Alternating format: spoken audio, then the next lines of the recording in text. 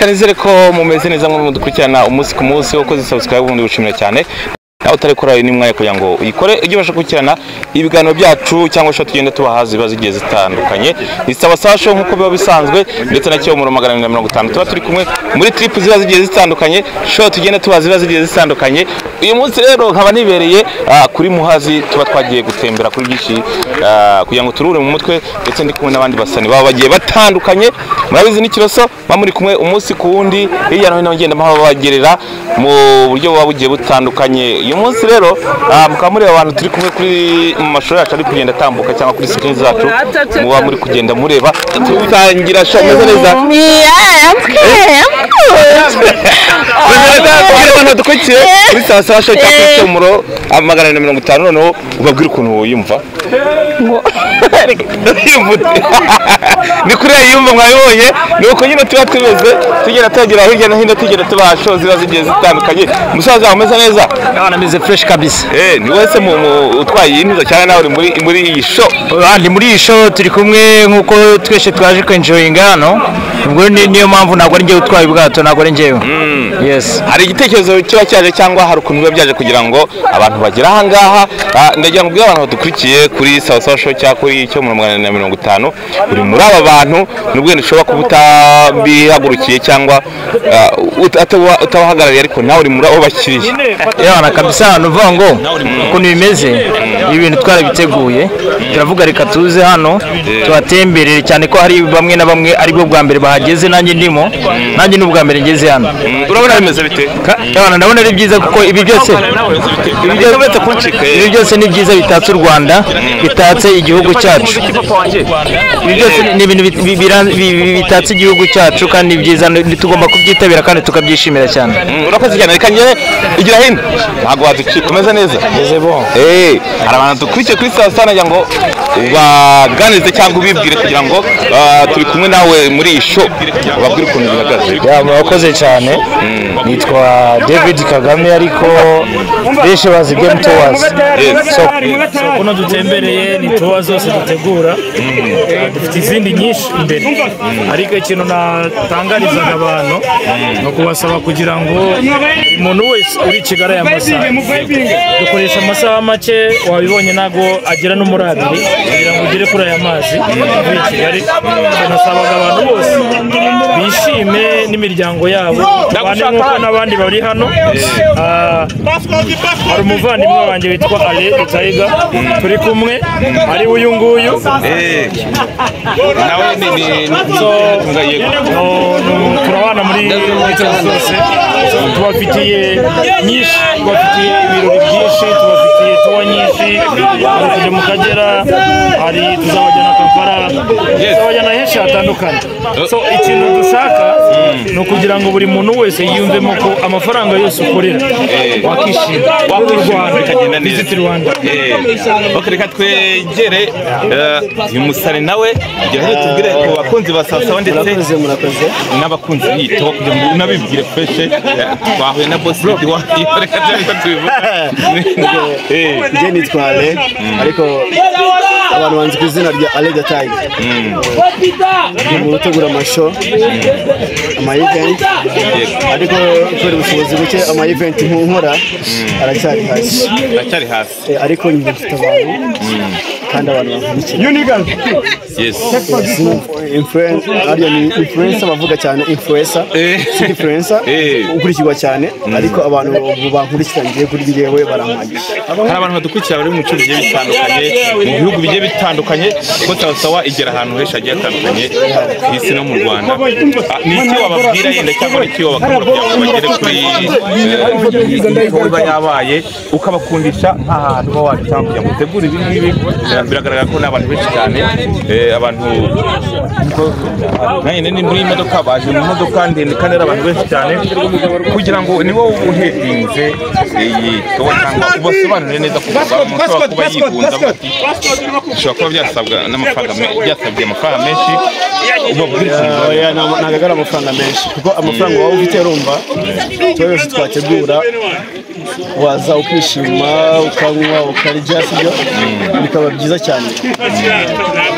Ubu hagiye gukurikiraho iki? Ubwo tukihagera hari amashusho twagiye dufata tubuze gucishamo bari bugende babona ahantu twagiye duca ah, hagiye gukurikiraho iki ubu hagiye hagiye kujyaho koga. Abantu bashaka kuri buze koga baraboroga abashaka gukina vore barakina abashaka gukina basiketi barakina abashaka gukina futuboro barakina. N'ibindi n'ibindi mwana ba bantu baheze mu bwigunge ni cyo bababwira bavuga ngo ah, ah, ni ubushobozi burebure bukomeye cyane ntabwo babubona. Ndababwiye mwaracika kabisa. Kuba arede tayiga mujye muza rwose dutemberane rwose nta kibazo. Hamwe na gemu tu wana rwose.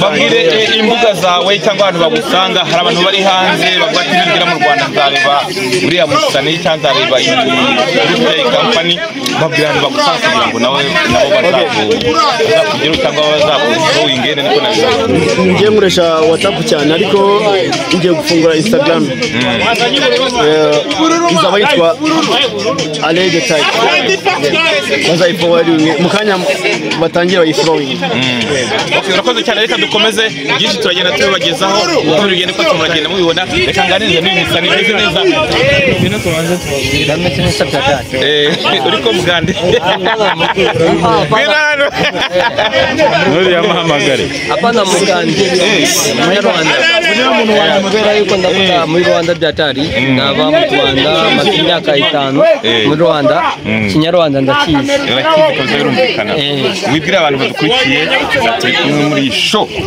Ino show inakuye ndabona iramisinisa ino show inakuye byatari ndabona kabisa nawe kirusi tuzi ko muri uganda hari za victori hari za bagenda zi- basura ziba zigiye zitandukanye. Turi kuri muhazi dufite ku isenyi dufite n'ahandi hagiye hatandukanye. Wabona gute?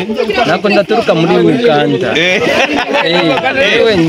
ntabwo ndaturuka muri uganda. Impamvu mbivuze ni uko nagiye mama mama ni umunyasimpakwe papa ni umunyarwanda yamaye rero reka tubasubize mu bantu Eh, simpakwe turabashuza byatari mu rwanda mbona mese fureshi arameze neza simpakwe nawe arameze fureshi ah muri rwanda muri rwanda aramisi neza byatari urabona handitse mu hasi ikinyarwanda eh, mu hasi Ah, urasoma muhazi florence ya ikinyarwanda kiracikacika byatari ntabwo ndakizi Eh. ariko nakunze mu rwanda byatari kirakomisanye sho Okay, so reka dukomezanye ibindi byose turakomeza tugenda tubaha zitandukanye twagiye twakomeje musaza twakomeje turi kumwe muri show ni cyo babwira abantu badukurikiye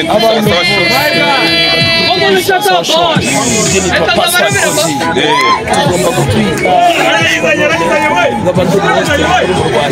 Okay, abantu password password buri bintu cyangwa ibintu byanze kuvamo bikuramo cyane niyo mpamvu Eh. narabafasha abanyarwanda kandi starboy Eh, kuko turi kwihuta turakomeza tugenda kibwira abantu badukurikiye kuri abantu Sasa Show, badukurikiye kuri kano kanya ndababwira yuko twebwe tugomba gukora show nziza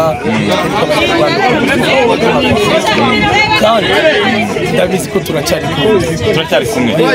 Urakoze cyane. Ibindi dukomezanye byose uko bisanzwe tugendane ubundi tubahe show.